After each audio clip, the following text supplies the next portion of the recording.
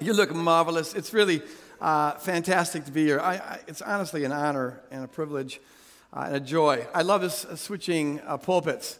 Uh, Bruxy's down at Woodland Hills Church right now, and I'm up here. I'm sure my church gets the better deal, but it's, uh, it's fun. Just the variety is really good. I, I just am having such a good time um, hanging out with Bruxy and Tim, not just up here, but we, we on uh, phone get together every so often and strategize about kind of movement going on around the world and just some different things. And so there's a, there's a, a great kind of a kinship that's being forged here. And I, I just uh, love it. So coming here, uh, it's kind of like coming to my second home. It feels very, very comfortable here, very much my tribe. I love you guys.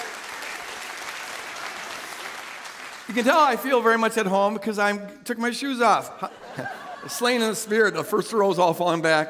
No, uh, yeah, because it, it, it's, it's uh, not that I'm on holy ground, though no doubt this is holy ground, but um, as, as was said here earlier, it's at 10,000 degrees up here, and I don't know what it is about turning, I'm 56 now, and uh, in your 50s, you sweat more. Has anyone else noticed that? I'm going through menopause, is what it is. Uh, and some say that it's, it's uh, when you have a lot of empathy with your wife and she's going through that funky period of life, that you just sort of empathize. So I, I feel bad, so bad for her getting all sweaty that I got to get sweaty too. I don't know if that's it or if it's just chemicals or what it is, but uh, so if I start sweating like a stuck pig up here, you'll know uh, that it's uh, menopause. There you go. I probably shared too much there, didn't I? Okay, well, it's. But anyways, it helps you stay cool by keeping your feet ventilated. You know that a lot of your heat is, comes from being your. These were meant to be free. Uh, shoes are unnatural. They're part of the fall. I, I say it's time. We got to declare liberation here. Let's be liberated. So this is uh, from Baptist to Anabaptist. How did I acquire the Anna? Uh, where, where, did that come from? We're, we're, we're uh, starting off this series on um, the, the one church and all of its diversity, the Church Universal. But that immediately raises this question that I've been living in, in particular for two or three years now, maybe more like five or six. And that is, how do you affirm the unity of the church while also uh, holding to, with integrity, your distinctive beliefs that aren't shared by the whole church? So here's a passage for us to launch off of. Uh, it's, it's one of the classic passages, passages about the unity of the church. It's, it's uh, in Ephesians 4, where Paul says, As a prisoner for the Lord, and by the way, if you want to be free, become a prisoner of the Lord. For as, as a prisoner of the Lord, I urge you to live a life worthy of the calling you have received. And that doesn't mean try to earn it or anything like that. It just means live a life that's consistent with the calling that you've received, that reflects the worth of the calling that you've received. And here's what it looks like when you do that be completely humble and gentle, be patient, bearing with one another in love. Make every effort to keep the unity of the Spirit through the bond of peace. The reason is because there is, in the end, one body and one Spirit. Just as you were called to one hope and you were called, there's one Lord, one faith, one baptism, one God and Father of all, who is over all and through all and in all. Now, this is a passage that strongly expresses the unity of the body. There's one body, one Lord, one faith. It's got a lot of different expressions, and there's even a lot of disagreement, but in the end, there's one. So, this is a passage that strongly is telling us that if we're to reflect the, the worth of our calling, uh, then we have to be gentle and meek and, and loving in our relationships with others in the body of Christ. And we must never separate ourselves in a sectarian way, thinking that we've got a corner on the truth. We're the righteous club, the holy club, the whole truth club, nothing but the truth. Um, that we always have to be affirming the unity of the body of Christ, make the bond of peace, the one spirit strong. But how do you do that with you're at the same time holding to things that aren't shared by the whole body and, and you maybe are passionate about those? For example, in the Anabaptist tradition that I've grown into, I'm going to talk about how I grew into that here in a little bit. But in the Anabaptist tradition, uh, at, at the center of our understanding of the gospel is the call to love our enemies and to be nonviolent, to imitate Jesus. It's a, it's a core thing. Most of the church does not agree with that. In fact, 500 years ago, most of the church were putting, was putting to death Anabaptists for believing that, and some other distinctive things. We wouldn't join the state on different stuff.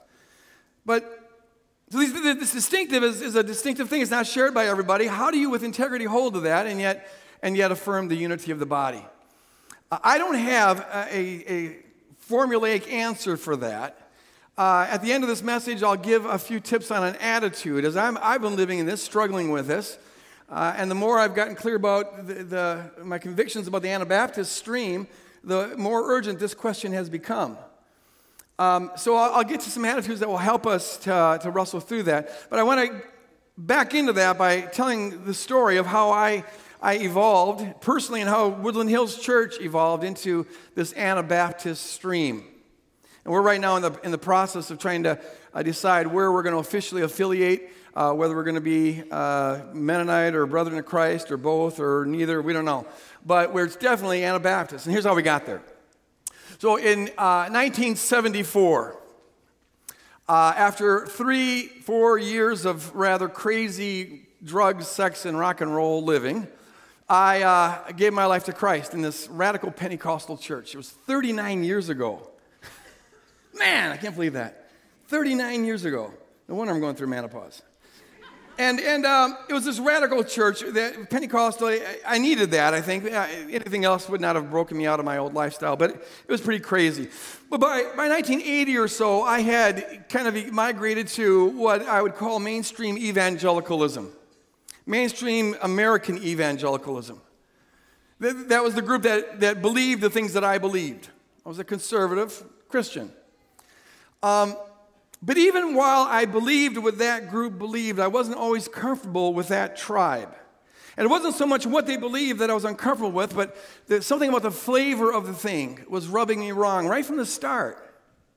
Um, you know, there's um, in the 80s, this is when the moral majority was really rising to power. This was a movement in America that that really was a political movement that kind of co opted the Christian right, and they were trying to grab a lot of political power so they could have the righteous laws and the righteous candidates in, in place so that we could take America back for God. That was the, the movement there. And I wasn't so much opposed to the particular positions of the moral majority movement, but there's something about the style of it that was bothering me. Something about the flavor of it, the attitude. It didn't seem like uh, something Jesus would do. The there's a lot of hostility, animosity, this kind of conquest, militant takeover thing. I just don't recall Jesus ever acting like that in the Gospels. And so I already was getting kind of hesitant, uh, disturbed by this evangelical movement. The, the, the slogan they used was, We got to take America back for God. And that always puzzled me. Because I've never been able to locate when those good old days were. I, have tried. I, when, when, was America under God, for God? Uh, a distinctly Jesus looking nation. Was that before or after the conquistadors came over and slaughtered millions of the natives and broke every treaty we ever made with them to steal the land? Were those the good old days we're trying to get back to? Because I don't think the American Indians would agree with that one.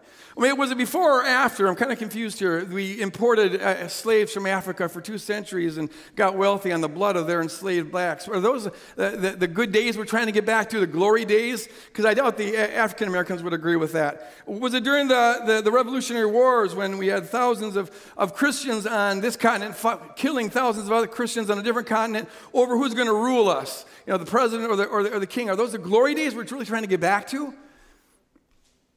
Because uh, I can't see it. And th- that message is, sells a lot better up here in Canada than it does down in the States. I, I, I get a lot of pushback on that. But I was just genuinely confused. We're trying to take, go back to, go back to when? Because it's kind of been not Jesus looking all the way along. So I was uncomfortable, uh, just not feeling like this is quite where I'm, I'm, I'm settled. Now, this happened all throughout the 80s and into the 90s. We planted Woodland Hills Church in 1992, and though I was uncomfortable with the evangelical tribe, it is what I believed, and so uh, we were started as a Baptist evangelical American church. And there was a few things that were kind of distinct about us. We didn't have flags in the church uh, as a matter of principle, and we wouldn't jump on political bandwagons, and that's kind of unique for American evangelical churches. But by and large, we identify with that tribe. But my discomfort continued. And there's several things that happened in the 90s that kind of were turning events for me. I, I found that as I studied the scripture, I, I, I got to see with more and more clarity that the central thing is this thing called the kingdom of God or the reign of God. Jesus talks about it all the time. In evangelicalism, we didn't. We, we, we talked about this gospel of salvation where if you just believe you know, and Jesus say the sinner's prayer, then that means you'll go to heaven instead of hell, and that's kind of it. And I began to see, just from my own reading and studying and dialoguing, that it's a whole, about a whole lot more than that. Um, this, this kingdom is about the reign of God now. It's about transformed lives now. It's about God changing the way things are now. And it won't be consummated until the future, but we're to be different now. And the clearer I got about the kingdom of God, the foggier I got about what relationship it had to do with what we were calling church. Uh, what I came to see is that, that the kingdom of God always looks like Jesus. Jesus incarnated God, he was the embodiment of God, right? Um, he's God incarnate. And so he's the kingdom of God incarnate, the reign of God incarnate. If you want to know what the kingdom looks like, if you want to know what it looks like when God rules in a, a human life 100%, look at Jesus. He's the walking, talking version of the kingdom of God. And so, wherever the kingdom shows up, it's going to look like Jesus. Wherever the kingdom shows up, it'll be individually and corporately a, a group of people that are, are serving like Jesus and are humble like Jesus and are self sacrificial like Jesus and who are caring for the poor like Jesus and who are just manifesting the character of God like Jesus. The kingdom of God is, by definition, Jesus like. It looks like Jesus. That's why the church, which is called to manifest the kingdom of God, why we're called the body of Christ. We're to be doing, as a corporate body, exactly what Jesus did in his first body. He embodied the kingdom, and so we're to embody the kingdom. We're, like, we're to be like a giant Jesus. And, um, um, and, and so the way to know whether the kingdom of God is present is not to ask people what they believe it's rather to watch how they are loving, how they are serving, how they are sacrificing. Are they putting on display the character of Abba Father? Uh, that, that's the all important criteria. John says in his first epistle, he says, Whoever claims to live in Jesus must live like Jesus. I remember when I first saw that passage, it, it blew me away. Because this isn't praying the sinner's prayer to avoid hell. Whoever, if you're living in Jesus, and you're getting your life from Jesus, and your meaning is all wrapped up in Jesus, well, then you're going to be living like Jesus. You'll at least be moving in that direction. When you submit to the reign of God, He pours His DNA into your life. Something happens, something changes. It's called the Holy Spirit, His DNA. So you begin to uh, be transformed into the image of His Son. You're part of Abba's family. You're born from above, the Bible says. And so I began to see that as important as beliefs are, as important as beliefs are, the kingdom of God is about more than beliefs. It's about growing in a Christ like kind of a love. There's another time I remember, um, this is probably 1997 or 98, right around there. And have you ever had this experience where you've read a passage maybe a thousand times, but the time you read it for the thousand and one time, uh, it, uh, it's like you never read it before? It all of a sudden comes alive. Uh, something about where you're at in your life, you just are able to receive a revelation from that passage that you couldn't see before. Well, that happened to me uh, several times, but the most important one was when I was reading Matthew chapter 5, around 97, 98, as I've been growing in this awareness of the kingdom of God. And here Jesus says, You've heard that it was said, Love your neighbor and hate your enemy. But I tell you, love your enemies and pray for those who persecute you, that you may be, that you may be children of your Father in heaven. He causes his sun to rise on the evil and the good and sends the rain on the righteous and the unrighteous. That phrase, that you may be, just hit me between the eyes. That you may be. Um, the implication is that this is the criteria for being a child of God. Um, you'll know the child of God by the distinct way that they can love. Whereas everybody loves their neighbors and, and, and their friends but hates their enemies, uh, in, in, the kingdom, when you submit your life to kingdom, you are in, to the king, you are empowered to love the way he loves. And he loves like the sun shines and like the rain falls. He loves indiscriminately. The sun doesn't choose where it's going to shine or who it's going to shine on. You don't see rays of light saying, nah, you, don't deserve our light, but you do. And then, you know, kind of just choosing. If, no, the, the sun loves or uh, shines indiscriminately, and rain falls indiscriminately. Uh, rain, raindrops don't choose who deserves to get wet. They just, come, they just come down. Rain does what it does, and the sun does what it does, and God does what He does. He loves. He just loves. And whether you deserve it or not is not the question. You don't, but He loves anyways. And when you submit to the King of Kings and the Lord of Lords, you are empowered to love like that. So you don't just love your neighbors and those who benefit you, you love those who are your enemies. And when Jesus talks about enemies, in first century Palestine to Jews, the first thing that people are going to think of are the Romans. Those are the enemies. And the Romans are the ones who have conquered this land and are reigning on it unjustly, or they're, they're reigning with an oppressive rule. The Romans are the ones who sometimes round up your kids and sell them into slavery if you can't pay your debts. Romans are the ones who unjustly uh, make you do things and, and uh, overtax you. The Romans are the ones who sometimes will round up uh, hundreds, and in a few cases, we know of thousands of innocent people and crucify them just to flex their muscle because they can. They reign by terror. These are the first century terrorists. But these folks have already taken over the land. Over the, they're, they're ruling over the Jews, and the Jews hate it. The Romans are the one group that the Jews love to hate. They rally around their hatred for the Romans. And Jesus comes along and says, Love your enemies. In fact, in the Lucan parallel, he says, Do good to your enemies. It's not just a private emotion. You're supposed to eh, act in ways, to love them is to act in ways that benefit them. See, this is one of the things that got Jesus crucified. It's a radical, radical message. It doesn't sell well to most people because it's not practical but Jesus models it and Jesus teaches it. And then he says, This is the criteria for being a child of God. You love like the Father loves. And love, folks, get this love. People have a lot of different definitions of love. But the Bible tells us what genuine love is, what kingdom love is, by pointing us to the cross. John says, Here's how you know what love is. Are you wondering what love is? Well, here's how you know. He doesn't give us an abstract definition, he points us to the cross. Jesus Christ laid down his life for us. That is love. Jesus Christ, God Almighty, set aside the prerogatives of his, his glory and gave his life for us. So also we should give our life for one another. Uh, he could have called legions of angels and he would have been justified in doing it, but he didn't. He allowed himself to be crucified for us. Peter was justified pulling out the sword and cutting off the guard's ear, but Jesus rebuked him. Uh, because out of love for us, he gave his life. So, also, well, that's how we're to live. And we live in love to the degree that we do that. And the cross reveals the character of Abba Father. So, living in a cross like way, in a self sacrificial way, serving even our enemies, loving like the sun shines and the rain falls, that is the ultimate criteria for what it is to be a child of God. And when I saw this, it changed everything. It just it, began to blow my brain. Um, because if this is the criteria for being a child of God, well, then I got to ask the question um, to what degree is the church today manifesting that character?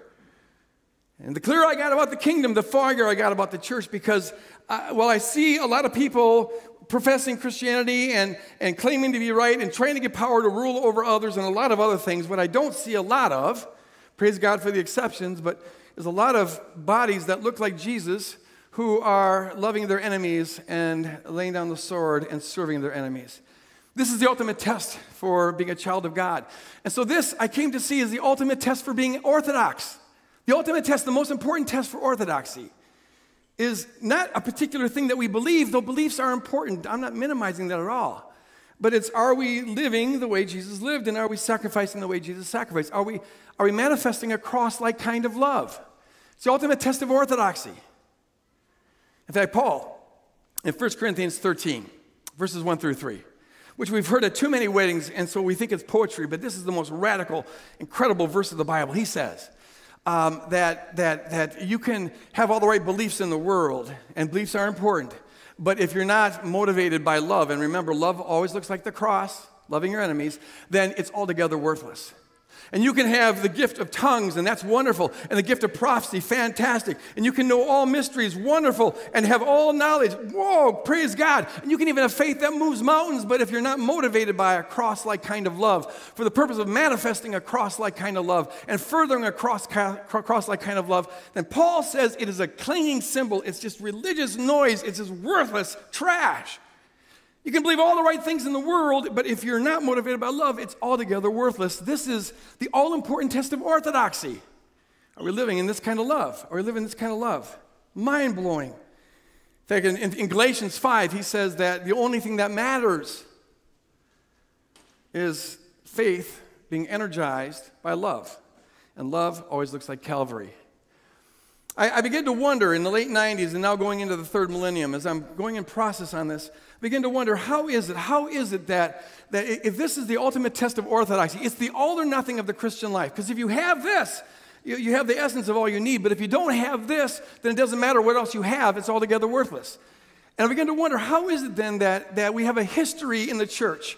Ever since the church picked up the sword in the fifth century, when Constantine gave it all that power, and we put down the cross and we picked up the sword and we thought we were going to conquer the world in Jesus' name, and the church has been trying to do that ever since. How is it that throughout that history we find thousands, even millions of people being persecuted and martyred, beheaded, being burned alive, and tortured in various ways because they were witches or because they were heretics or what have you? But there's, there's no official report that I've been able to find of anyone ever even just being rebuked for not loving enough. See, if this is the all important test of orthodoxy, then to not love, is it not the worst heresy? Because if you're wrong on this point, doesn't matter what else you're right on, you're wrong. This is the worst heresy. And so, you know, in the 1530s, uh, Calvin had Michael Servetus burned at the stake, burned alive, because he was wrong about the Trinity. And being wrong about the Trinity is a bad heresy for sure. But who was more wrong? Michael Servetus for being wrong about the Trinity or Calvin for missing out on love because he burned him alive? Uh, that's not loving. It seems to me that burning someone alive is the worst heresy. It's terrible to be wrong about the Trinity, but to fail to love is a far worse heresy. Terrible to be wrong about the incarnation, uh, the deity of Christ. Very important doctrine, but to be wrong uh, and, and, and, not loving enough, that's a far worse heresy. It's terrible to, to deny the, the inspiration of Scripture, but it's a far worse heresy to stop loving the person who denies the inspiration of Scripture or the Trinity or the incarnation or what have you. This is the all, all important test of orthodoxy and therefore the all important heresy. And um, as, as the clearer I got about this, the more confused I got about what church was all about. Uh, this was my journey into the stream of, of, of uh, the Anabaptist tradition. Because I discovered in 2006 this, uh, that I wasn't alone in seeing all this. I was starting to think I was crazy. And I probably am, but not for that reason. Uh, but I feel very alone. And then what happened is in 2006, I uh, published this book called uh, The uh, Myth of a Christian Nation. Um, it came out of a series that I did at my church where I really kind of got clear about all this, the way I'm being right now, and I had a thousand people in my church leave, uh, which is fine. Uh, you know, we're not called to build bid, we're called to build quality. But uh, yeah, we call it the mass exodus. That's my church shrinkage strategy. So um, this book came out as a result of that, and then what that did is it got me on the map of the Anabaptists, who started inviting me to uh, different conferences and churches to give talks because they recognized that in the kingdom that I was proclaiming, well, it's the kingdom that is their tradition for the last five centuries. I didn't know who the Anabaptists were. I knew historically this group called the Anabaptists, but when I thought about Anabaptists, I thought about the Amish. I, in Christ, Mennonites, you know, I thought they were just the liberal Amish. You know, they, they got to wear white bonnets instead of black bonnets. I don't know, but so that was my idea of what the, these, these Anabaptists are. And, and as I, over the last seven years, have had a chance to dialogue with this group, I've come to see that uh, they're not at all just like the Amish. They're, they're as diverse as, as can be, but they all have this vision of the kingdom in common. And this I've identified as my tribe. They, they, they, they get this kingdom distinctive. Um, and um, now I can point to a, a, a tradition in the past and say that represents the kingdom as I understand it, the kingdom that Jesus came uh, to inaugurate, in contrast to the institutional church, which has so often operated in, in different ways. Um, I initially, when I was getting all this, growing towards this Anabaptist stream, I would minimize the distinctiveness of it, uh, and emphasize more what, what Woodland Hills Church has in common with other churches. But I've now come to believe that the time has come to now emphasize the distinctness and to call upon other Anabaptists to, to do so. And here's why. The church militant and triumphant, that church that was created in the fifth century that picked up the sword, the church that was going to conquer the world in Jesus' name and still trying to grab onto power, that church has been dying. That model of the church has been dying for several centuries. Its last stronghold is America, and it's dying there too. And don't, don't grieve that loss because it's a good thing. Because out of the, the rubble, that, that had a veneer semblance of, of, of the kingdom, but the true kingdom looks very different from that because the true kingdom always looks like Calvary. And what we're seeing today is out of the rubble of this dismantling of Christendom is rising uh, uh all over the globe. I didn't know about it until 2006. All over the place, people are getting this vision. They're getting that what Jesus came to do, and it always has this humble, humble servant, self sacrificial feel to it. And, and these folks are looking for, like I have been, looking for a tribe and a tradition. Uh, something that anchor this witness in the past. And the only folks who have the tradition are the Anabaptists, the brethren in Christ, the Mennonites. And so, my message to the Mennonites and the other Anabaptist groups has been this uh, God's doing a new thing in this world, pouring out new wineskin, and people are looking for a tribe and a tradition that they can call home. And the only ones who have it are you guys. Uh, that stream of the Christian tradition that people are looking for, you have it. And so, this is the time to grab hold and passionately proclaim that vision of the kingdom that, that your forefathers gave you five, 500 years ago. Uh, and at the same time, uh, to open your arms to embrace a, a, the widest diversity of cultures that you can imagine.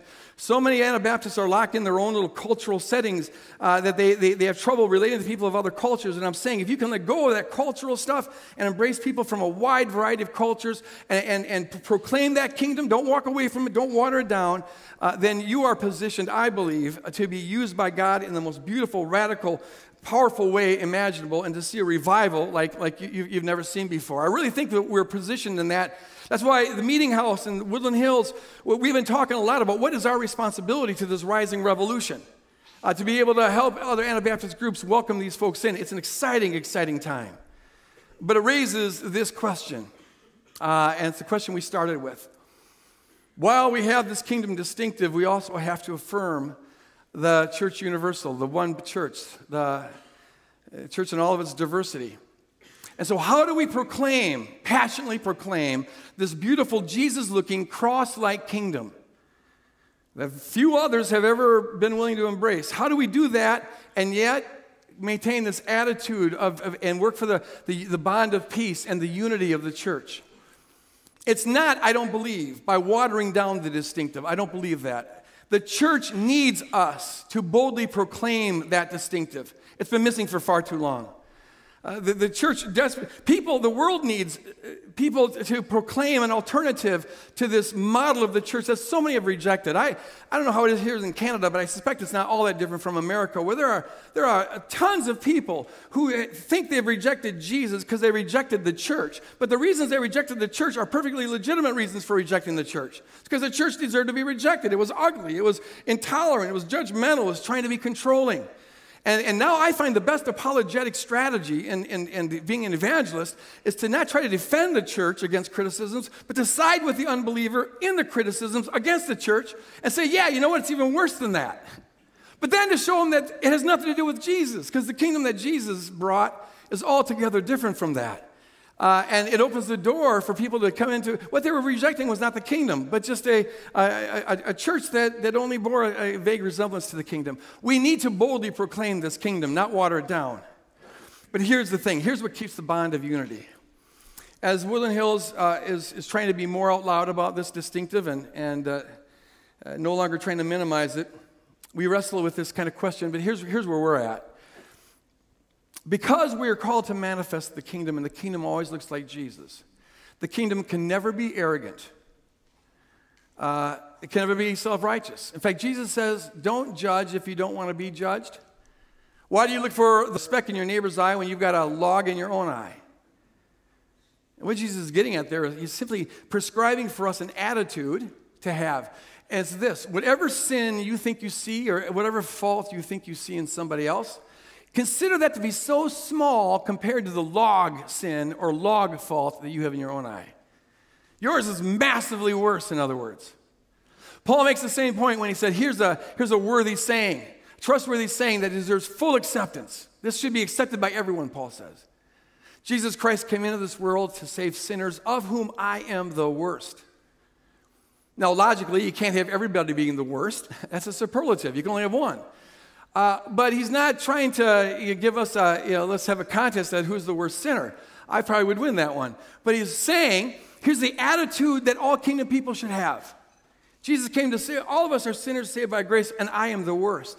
Because that collapses our judgment mechanism. See, it'd be impossible, impossible to adhere to these teachings and become arrogant to adhere to these teachings and, and, and, and live in a, the humble kingdom and, and yet become self righteous because you think you know something that someone else doesn't know. If we, if we have a kingdom mindset, then we would go into this. The last thing we would ever do is, is think of ourselves as some kind of holy club, especially if we realize that the true kingdom is not first and foremost about beliefs, but about how we love. Because there are folks in every stream of the Christian tradition who love more than we do. We don't live up to our own, our, our own uh, kingdom calling. And there are folks in the Anabaptist stream who, who don't live in that kind of love.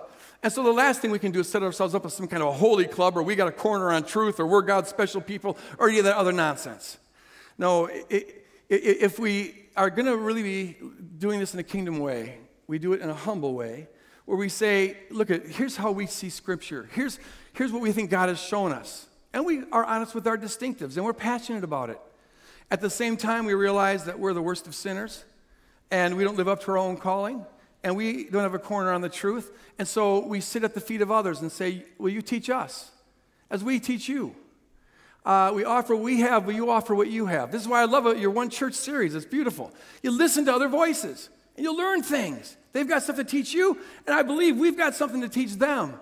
But see, we trust that God is at work in all those different streams, and that's how God is now bringing his bride, recovering his bride, restoring his bride, making his bride ready. And we all have a role to play in it. So hold fast to those distinctives, passionately hold on to those distinctives. They're beautiful, they're important. But always remember that you are the worst of sinners, and so am I. And so we can never become arrogant about that. It's not an idol. Okay, uh, we got time for a few questions, I believe. Do we not? Do we not have time for maybe one or two? I don't know. Uh, it says I got three seconds left. well, uh, uh, we got time for one or two, don't we? Uh, here, let's just follow the Spirit, and then when they drop the cage, they drop it. Here we go. Are you seeing the Anabaptist traditions cutting across social, economic, racial lines in the U.S.? Mm. Yes, yes. Um, they are, uh, and this is kind of a new thing because uh, for, for far too long, Anabaptists have tended to be sort of in an enclave. They got their own little farming communities. They're sort of re- retreatist, a little bit like the Amish. Um, but the, the, new thing that's happening is that uh, among the Mennonites, anyways, I, I, know more about them statistically than the Brethren in Christ. But the, the churches that are growing, and certainly growing the fastest, are the indigenous churches and the ten, ones that tend to be uh, uh, in, in uh, the inner city and among the poor. Globally, it's whoa, way diverse. I mean, it, it's incredible. So, yeah, it is cutting across all sorts of racial, ethnic uh, lines. It's, it, it's, it, it's a beautiful thing. I hope that it, continues. Let's do one more, just for the fun of it. I'm sorry, I, I, should, I should save more time. I, I, I, I, didn't, but I'm bad. I'm the worst of sinners. Did I tell you that? I am. I really am. I agree that we are called to be one body, one church. With that said, why are there still people within the church that are feeling lonely and abandoned? Bingo. Uh, yeah, this is, this, is, this is not about an ideology unity, that you're, the question. It's about how do we function as one body. And here is where and I love the way Meeting House is doing this. To manifest the true unity of the Spirit, you need more than a weekend event to do that. Uh, where you come together and 99% of the people don't know 99% of the other people. That's just what it is. That's a weekend event. But we need to be in tighter communities. I love your midweek uh, uh, meeting houses. And that's where you develop relationships and where you care for one another and do the, all the one another's of the New Testament. That's, that's what that, that's about. And that's the only cure for loneliness. You can't cure loneliness with an ideology or a philosophy or a theology. You cure it with relationships. And all of us need to be in those kind of kingdom relationships. Praise God. Hold fast to your distinctive kingdom of God, loving like Jesus loves, even enemies. Embrace folks from all diversity of backgrounds and do it with a humility, knowing that you are the worst of sinners. Father, I thank you for this group in Jesus' name and for all who will hear this message by other venues. Uh, God, I just pray blessing on the meeting house.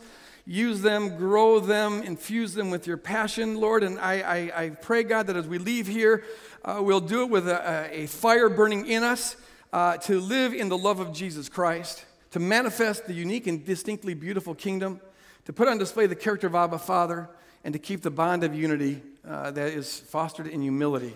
In Jesus' name we pray. And all of God's people said, Amen. God bless you guys. Thanks for having me. I'll see you later. Bye. Peace.